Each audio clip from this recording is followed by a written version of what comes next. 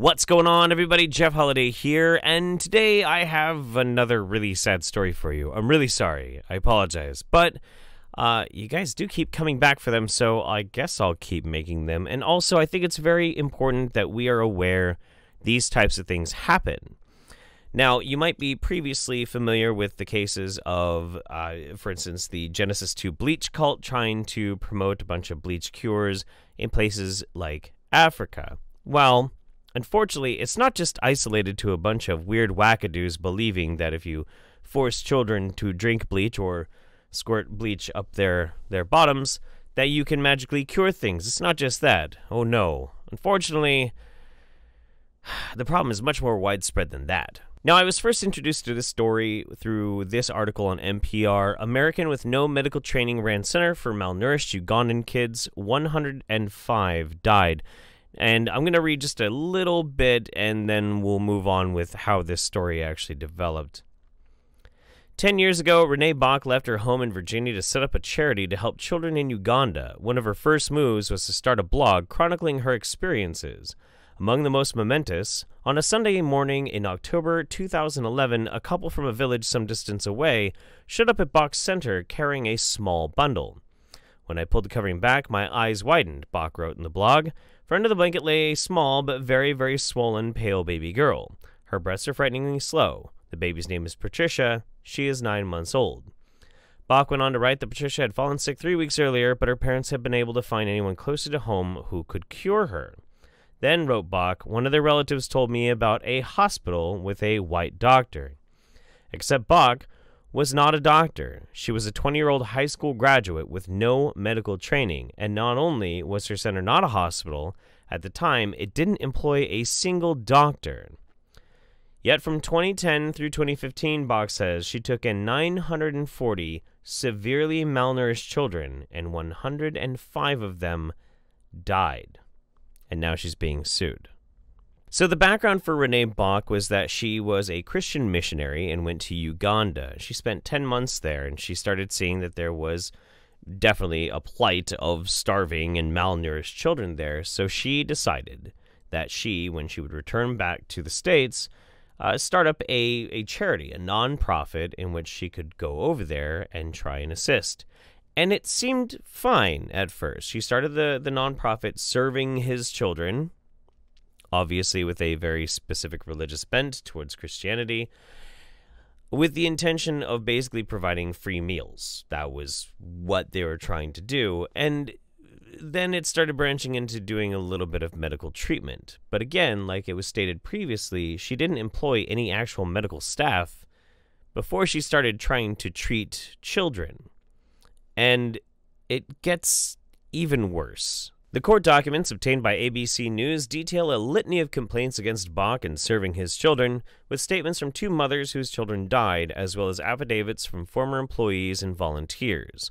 Among the allegations against Bach are performing medical procedures such as blood transfusions and inserting intravenous catheters, disregarding sanitary protocols, and attempting to diagnose patients who showed symptoms frequently related to serious illnesses like HIV and AIDS. And her pretendy role playing of being a doctor was so constant that a former volunteer actually said in a sworn affidavit that she would walk around in a white lab coat with a stethoscope, and pretty much everybody in the village knew her as the White Doctor. Oh, yeah. This is from Fox News when uh, she went on to defend herself. A Christian missionary is fighting to clear her name tonight following accusations by two mothers in Uganda and a group called No White Saviors that the Virginia woman contributed to the deaths of, they say, hundreds of babies by treating them without a medical license at her nonprofit charity clinic called Serving His Children. That missionary, Renee Bach, joins us now to tell her side of the story along with her attorney, David Gibbs. Uh, Renee and David, thanks for joining us. I just, I, I kind of want to point this out. Um, she looks pretty much exactly like how someone should look when they realize they've probably killed over a hundred children. Yeah, you you you actually probably should look like you kind of want the world to beat you to death. Yeah, you should probably feel exactly like that, and uh, I, I appreciate that. So thank you. Happy to be with you, Shannon. Okay, I Thanks, want to. Shannon. It's good to be here. I want to read from Women's Pro Bono Initiative. They're one of the plaintiffs joining with these two mothers. They say the mothers allege they were led to believe that Miss Renee Bach was a medical doctor and that her home was a medical facility, as she was often seen wearing a white coat, a stethoscope, and often administered medications to children in her care. The actions of Renee and SHC led to the death of hundreds of children. Renee, that is a serious allegation. How do you respond? Um, so, first off, I have never represented myself as a medical professional or health worker of any type. Um, the organization Serving His Children hires uh, medical professionals that are Ugandan, um, local and national folks. Now they hire them now. In fact, if we go and we look right now at serving his children, well, uh, suspiciously, Renee isn't on there anymore, and instead it's nothing but a bunch of, well, Ugandan workers, which is good, because hopefully that means this crazy woman is staying far, far away from these children. And um, I have assisted our medical team in emergency settings and in crisis situations, um, but I have never practiced medicine and I have never adorned uh, or put on any sort of a uniform or white coat for that matter. Um, so, yeah, it's a tough allegation for sure. I mean, like, like, one more time. Say it one more time for me. Um, but I have never practiced medicine and I have never adorned uh, or put on any sort of a uniform or white coat for that matter. Um, so, yeah, it's a tough allegation for sure. So, just because you might not be wearing a white lab coat, which I, I bet you there are probably pictures of you in a white lab coat, I'm just, I'm just gonna bet that there probably are. Uh, having a stethoscope, I mean, that kind of implies that you know what you're doing. Whether or not you have a name tag that says Dr. Renee Bach or not, if somebody is coming into a clinic and it's called a clinic and they hand you their baby and you put on a stethoscope and start listening to the baby, they're probably going to assume that you know what you're doing. I don't think that's a very hard leap of logic. So, uh, David, I know that you have said um, you believe this group is potentially defaming her. Uh, they may be libelous and slandering her. Would you consider uh, legal action in return? Do you think your case is strong enough? Well, Shannon, absolutely, the case would be strong enough. Now, the problem with these reputational terrorists on the internet is even finding these people all reputational terrorists on the internet. Keep that in mind. The two people who are suing her are two Ugandan mothers whose children died in her care. The allegations that are also being being brought forth is from another group, and this group is also a nonprofit which has a lot of interaction with people in Uganda. In fact, they have a very interesting story about Renee, but reputational terrorists. Reputational terrorists. I mean, fuck, dude. Look, I know it's kind of inconvenient when your kid dies. That's no reason to go and and, and and and and assassinate someone's character who was taking care of your kid when they died. That just seems completely unreasonable, don't you think? Now, real quick, before we get to the allegations levied by no white saviors, real quick, I wanted to make mention of this. Uh, Bach allegedly learned medical procedures by reading and watching YouTube videos. So, like, just, just, just, just, just bask in this one. The organization No White Saviors has accused Bach providing children with medical treatment she learned by watching YouTube videos. The group claims that Bach took children from legitimate hospitals and medical centers for treatment at uh, SHC and was very open about how much she enjoyed providing hands on medical care. In a blog post that's since been removed from the SHC website, Bach wrote about how she cared for a sick infant named Patricia. I hooked the baby up to oxygen and got to work. As I took her temperature, started an IV, checked her blood sugar, tested for malaria, and looked at her HB account, her family began to tell me her story. Witnesses claim to have seen Bach perform a number of procedures, including drawing blood, prescribing medications, giving intravenous injections, inserting catheters, and administering oxygen. Former colleagues said she answered to Musawo, the Lugandan word for doctor. When asked how she was basing treatments, she told one former assistant that she referred to Where There Is No Doctor, a Village Healthcare Handbook. So not only do you have her in her own blog posts saying that she is providing medical care for children, but you have many witness accounts of saying, yeah, she was she was acting like a doctor. And then there's this. Initially, I admired Renee for her sacrifice and tireless commitment to helping children battling malnutrition. It was not until January 2014 that my perspective really started to change. There was a child referred to our center who had previously been at serving his children. He and his grandmother stayed with us for several months while he received much needed medical care. The day after we had received some good news about his heart condition, he died of a sudden heart attack. His three year old body had been through a great deal of stress and it had finally given out. We found out that this little boy had suffered a severe case of malnutrition and was brought to Renee's NGO in Masese. They got him fat and healthy and then sent him home without so much as any consideration for the root cause of his malnutrition. There was no follow up, so he fell sick again. So sick that his body was not able to come back from it this time. Renee and her social worker at the time came to our office to discuss this case as I made it clear I held her partially responsible for this child's death. I explained that she had training or experience in child welfare. Uh, she'd know how critical it is to follow up on cases like this.